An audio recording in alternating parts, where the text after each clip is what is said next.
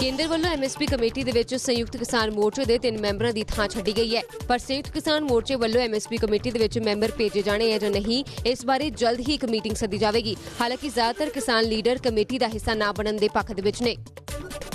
ਸੋ ਐਸਕੈਮ ਦੇ coordination committee ਦੇ member ਦੇ ਤੌਰ ਤੇ ਮੇਰੀ ਅੰਡਰਸਟੈਂਡਿੰਗ ਹੈ ਕਿ ਸਾਨੂੰ ਕਿਸੇ ਵੀ ਕਿਸਾਨ ਪੱਖੀ ਜਥੇਬੰਦੀ ਨੂੰ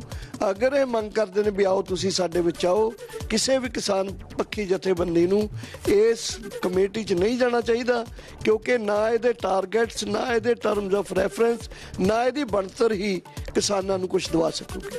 ਅਸੀਂ ਐਸਕੇਐਮ ਵੱਲੋਂ 20 ਵਾਰੀ ਸੋਚਾਂਗੇ ਇਸ ਗੱਲ ਤੇ ਕਿ ਉਹਦੇ ਜਾਣਾ ਜਾਂ ਨਹੀਂ ਜਾ ਕਿ 2024 ਅਸੀਂ ਡਿਕਲੇਅਰ ਮਤਲਬ ਕਿ ਮੈਂ ਮਿਸ਼ਨ ਐਮਐਸਪੀ ਮਿਸ਼ਨ ਐਮਐਸਪੀ 2024 ਹੈ ਜਿਹੜਾ। ਇਹ ਸਾਨੂੰ ਲੈ ਕੇ ਚੱਲਣਾ ਚਾਹੀਦਾ ਔਰ ਸਾਡੇ ਕੇਸ ਵਾਪਸ ਹੋਣੇ ਚਾਹੀਦੇ ਨੇ। ਲਖੀਮਪੁਰ ਖੀਰੀ ਦੇ ਸ਼ਹੀਦਾਂ ਨੂੰ ਇਨਸਾਫ ਦਿਵਾਉਣ ਲਈ, ਕਰਜ਼ੇ ਤੋਂ ਮੁਕਤੀ ਲਈ ਕੇਂਦਰੀ ਨੁਕਤਾ ਸਾਨੂੰ ਐਮਐਸਪੀ ਮਿਸ਼ਨ ਐਮਐਸਪੀ 2024 ਇਹਨੂੰ ਲੈ ਕੇ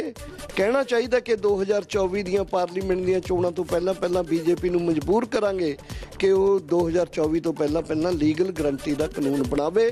ਤੇ ਨਹੀਂ ਤਾਂ ਕਿਸਾਨਾਂ ਦਾ ਅੰਦੋਲਨ ਹੋਰ ਉੱਚਾ